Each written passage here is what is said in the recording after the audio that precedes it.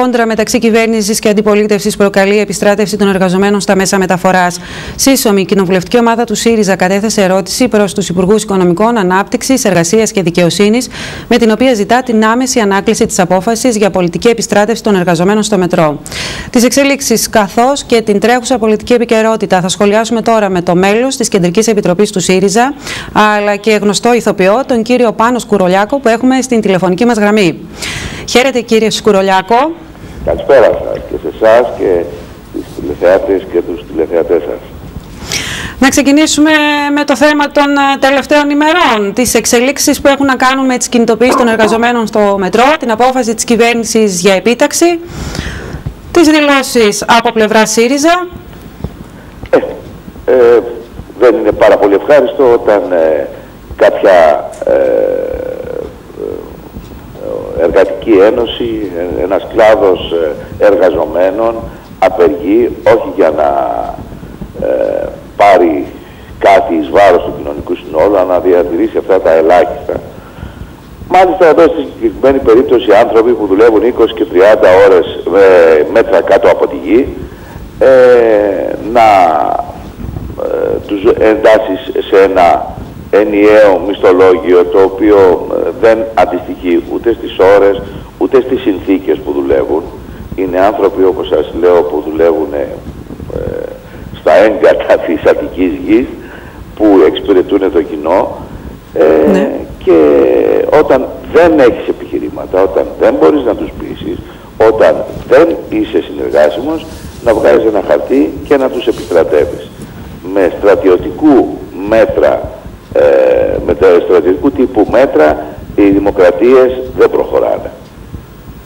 Από την άλλη όμως η ταλαιπωρία που υπάρχει για το κοινό και το επιχείρημα ότι όταν για όλους τους εργαζόμενους υπάρχουν τόσο δραματικές μειώσεις, σε κάποιες περιπτώσεις δεν υπάρχει αυτή η ισοτιμία, πώς απαντάτε; Ε, απαντώ το ότι το κοινό και ο ελληνικός λαός έχει ταλαιπωρηθεί τόσο πολύ από τις κυβερνήσεις του ΠΑΣΟΚ, της Νέας Δημοκρατίας και της ΔΙΜΑΡ που τον έχουν ε, γονατίσει, που του έχουν κόψει τα πάντα, του έχουν σταματήσει το μέλλον, του έχουν κλέψει το μέλλον των παιδιών του, τη σύνταξή του, το μισθό του, τα χαράτσια, που σοβαρά αυτό ήταν το θέμα. Ξέρετε, ζω στην Αθήνα και ναι. κινούμε στο λεκανοπέδιο το ευρύτερο. Μένω στην Αττική έξω στην Ανάπησο και κατεβαίνω κάθε μέρα στην Αθήνα και για το θέατρο αλλά και για τη δραματική σχολή στον Πειραιά που, με, που διδάσκω.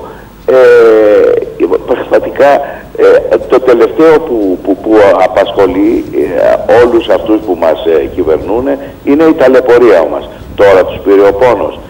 Άλλωστε, σας είπα, εδώ μιλάμε για μια. Έχει γίνει θέμα όλων των ημερών. Το μέγα θέμα των ημερών. Είναι, μα, μα, μόνο αυτό είναι το θέμα των ημερών. Το, το, το, θέμα των ημερών είναι η συνεχή. Τρομοκρατία, λίστα Λαγκάρτ, αυτά τα τρία θέματα. Βεβαίως, ναι. Ε, ε, ε, είναι θέμα μεγάλο, είναι θέμα σημαντικό και θα πρέπει πραγματικά να, να, να σκύψουν με, με, με, με πολύ σοβαρότητα πάνω στις ανάγκες των εργαζόμενων. Σας λέω, δεν είναι το ίδιο ο εργαζόμενος, ένας εργαζόμενος ο οποίος εργάζεται σε ένα γραφείο με έναν άλλον ο οποίος είναι 8 ώρες στη βάρδια του 30 και 40 μέτρα κάτω από τη γη με, σε ένα αντιγυηνό περιβάλλον, άλλο να κάνεις 3, 5 ή 10 λεπτά ένα ταξίδι με το μετρό κάτω ναι. στη γη και άλλο να είναι η δουλειά σου αυτή. Λοιπόν, ε, αντί να σταματήσουμε τον κατήφορο και να αρχίσουμε να ανεβάζουμε όλο τον κόσμο, να, να, να, να, να, να βρούμε έναν τρόπο, όχι να επανέλθουμε εκεί που ήμασταν, γιατί έτσι όπως τα κάνανε δεν μπορούμε να επανέλθουμε εκεί που ήμασταν.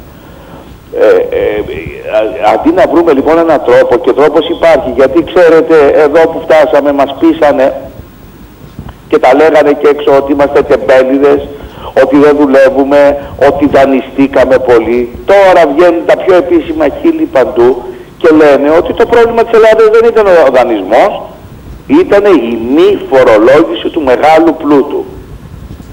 Α, ε, ε, εκεί λοιπόν που κόβουν συνέχεια, κόβουν συνέχεια από την ε, εφορία του μεγάλου πλούτου, δεν τους αγγίζουν, πρέπει να τα βγάλουν όλα από τον εργαζόμενο στο μετρό, από τον εργαζόμενο στο δημόσιο, από τον εργαζόμενο στον ιδιωτικό τομέα, από τον μικρό επιχειρηματία, από τον υγιή επιχειρηματία. Ξέρετε κάτι κυρία Κυριακίδου, υπάρχουν τρεις τριών ειδών επιχειρήσεις στην Ελλάδα. Οι επιχειρήσεις που συντηρούνται ε, με, από τις τράπεζες, οι επιχειρήσεις που συντηρούνται από το κράτος και οι επιχειρήσεις που συντηρούνται από τη δουλειά τους στην ελεύθερη αγορά. Ποιες έχουν πληγεί από αυτές, οι υγιείς επιχειρήσεις που συντηρούνται μόνες τους. Αυτές που κάνουν δουλειές με το κράτος ακόμα μεγαλουργούν και βέβαια αυτές που τις στηρίζουν ναι. το τραπεζικό σύστημα, το οποίο εμείς ανακεφαλαιώνουμε συνέχεια, χρεωνόμαστε από τους δανειστές μας για να ανακεφαλαιώσουμε το τραπεζικό σύστημα το οποίο δεν ρίχνει μέσα στην αγορά τα υπόλοιπα. Σοβαρά, τα πάντα θα πρέπει να τα πληρώσουν οι μισθωτοί, οι συνταξιούχοι, οι βαριά εργαζόμενοι. Δεν υπάρχει κανένας άλλος στην Ελλάδα να συνεισφέρει.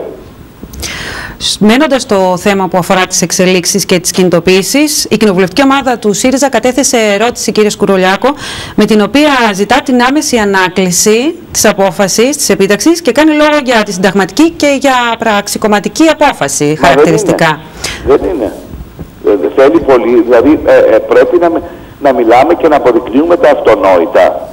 Όταν σου φέρουν ένα χαρτί σπίτι σου η αστυνομία και σου λέει θα πάω να δουλέψεις ή θα σε βάλω φυλακή, Α, αυτό είναι ελευθερία; Είναι δημοκρατία; Να μην έχει κανένα το δικαίωμα να διεκδικήσει τίποτα; Δηλαδή αυτό πώς αλλιώς λέγεται; Το λέγεται δημοκρατία; Μήπως λέγεται δικτατορία; Και βέβαια ο ΣΥΡΙΖΑ αλλά και τα κόμματα της αριστεράς δέχτηκαν και άλλη μια φορά την επίθεση από πλευρά της κυβέρνησης ότι στηρίζεται όλη αυτή την κατάσταση και δεν φροντίζεται για να κυλούν τα πράγματα ομαλά στη χώρα. Ο ΣΥΡΙΖΑ στηρίζει τις, ε, τους αγώνες των εργαζομένων ανέκαθεν, όχι τώρα.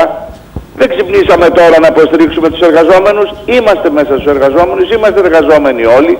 Και εμείς, οι ηθοποιοί, κάναμε απεργία λίγο πριν τις γιορτές, πριν τα, τα Χριστούγεννα πάντα στηρίζαμε τα δίκαια αιτήματα των εργαζομένων. Ε, άμα δεν τα στηρίξει και ο ΣΥΡΙΖΑ, ποιος θα τα στηρίξει; Ο κύριος Κουβέλης μήπως, μήπως ο κύριος Βενιζέλος ή ο κύριος Σαμαράς; Ευτυχώς που υπάρχει ο ΣΥΡΙΖΑ. Πλέον ο κύριος Βενιζέλος και ο κύριος Κουβέλης είναι μακριά από αυτό το κομμάτι που έχει να κάνει με τη στήριξη των εργαζομένων, πιστεύετε; Εσείς τι βλέπετε; Να σας το γυρίσω με ένα ερώτημα, γιατί θα τρελαθούμε σε αυτή τη χώρα, ας πούμε, θα χάσουμε τα, τα, τα απλά και τα αυτονόητα. Βλέπετε τον κύριο Βενιζέλου να υποστηρίζει τους εργαζόμενους. Ποιος πέρασε τους νόμους όλους αυτούς για τα, τα, τα χαράτσια στην ΔΕΗ, ποιος τα έβαλε; Ο Σκουρολιάκος ή ο Βενιζέλος; Ο Βενιζέλος. Ποιος είναι στην κυβέρνηση και ε, βγάζει κάποιες αναμικές ανακοινώσεις με κάποιες ε, ελαφρότατες διαμαρτυρίες, αλλά παρόλα αυτά παραμένει.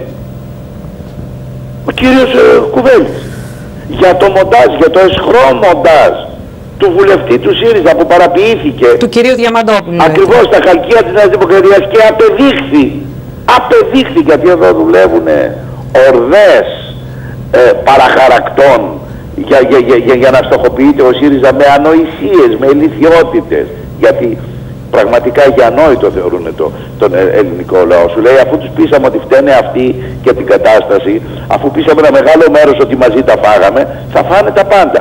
Λοιπόν ακόμα και για αυτό το παρι, ε, σχρά παραποιημένο βίντεο έβγαλε μια αναμικότατη ανακοίνωση ο κ. Κουβέρτης και παραμένει στην κυβέρνηση. Παραμένει στην κυβέρνηση. Υπογράφει όλα αυτά. Ε, τι είναι υπέρ των εργαζομένων; Για το θέμα που αναφέραμε, που έχει να κάνει με το επίμαχο βίντεο του, με τις δηλώσεις του κυρίου Διαμαντόπουλου, αλλά και γενικά τις τελευταίες ημέρες, με αφορμή τα θέματα τρομοκρατίας και τις επιθέσεις που υπήρχαν, ξέσπασε ένας πόλμος δηλώσεων. Άλλο και αυτό με την τρομοκρατία. Τους είπανε Στο ΣΥΡΙΖΑ στην Δημοκρατία και για ακόμα μια φορά δεχτήκατε ε, έντονη και σκληρή κριτική, κύριε Σκορολιάκο. Ο ΣΥΡΙΖΑ βέβαια. Απευθύνομαι ναι. στην, α, στην απλή λογική πριν από κάποιες εβδομάδες ένας βουλευτής του ΣΥΡΙΖΑ μιλώντας για τη Βίλα Μιλία, Μαλία και την κατάληψη λέει ποια κατάληψη, λέει κατάληψη έχει γίνει στο ΜΟΛ που είναι αφαίρετο τόσες χιλιάδες τρέματα τετραγωνικά μέτρα ναι. έτσι. Και μετά από δύο εβδομάδες μπαίνει μία βόμβα στο ΜΟΛ κυρία Κυριακίδου, κυρίες και κύριοι δύο πράγματα συμβαίνουν οι τρομοκράτες που βάλανε τη βόμβα και με την οποία διαφωνούμε, οι τρομοκράτες λοιπόν δεν το ξέραν ότι είναι αφαίρετο το μόλ και το πληροφορηθήκαν από τον βουλευτή ή ναι. κάποιος πράκτορας ή κάποιος περίεργος ή κάποιος βαλτός πήγε και έβαλε αυτή τη βόμβα. Δεν γίνονται και τα δύο. Το βαλτός με ποια έννοια το λέτε. Να ψάξει η αστυνομία να τους βρει και να αποκαλύψει τη σκευωρία. Σοβαρά, περιμένανε, οι, οι τρομοκράτες δεν ξέρουν ποιο είναι το μόλ. Σοβαρά.